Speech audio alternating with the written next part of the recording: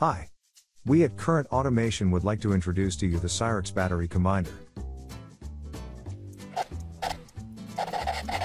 The Cyrix Battery Combiner is used to automatically connect batteries in parallel. Let's have a closer look at an example of a typical installation of the Cyrix. The main feature is that there is virtually no voltage loss. The Cyrix will be installed to automatically connect batteries in parallel.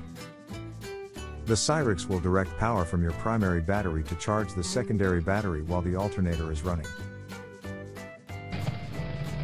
The Cyrix will not overcharge your secondary battery, and will not drain the primary battery. A start assist button can be installed. This will assist in a jump start function in the event if the primary battery is low or starter is not available. The Cyrix LICT will keep your wheels turning no matter what. It's fully compatible with lithium ion batteries. And Lead acid batteries. Your system will always be safe with this battery combiner, as it will disengage immediately when 1. When the cell is signaling over voltage, this includes temperature protection too. In case where the battery voltage drops below 13.2 volt. A battery combiner will be a great addition to your system. Especially if you're adding a second or third battery system in your car, boat, RV, or any other vehicle.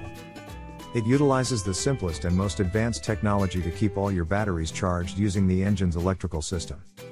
But isolates the starting battery when charging ceases so you never get stranded.